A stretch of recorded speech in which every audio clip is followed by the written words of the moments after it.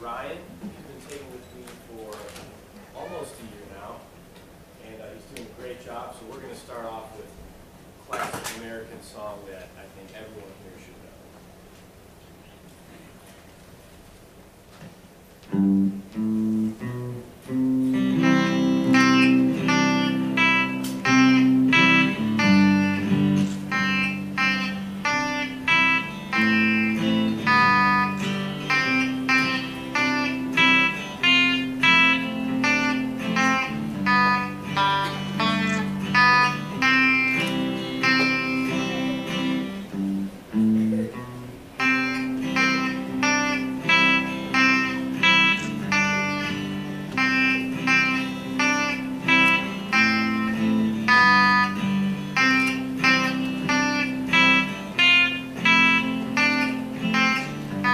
One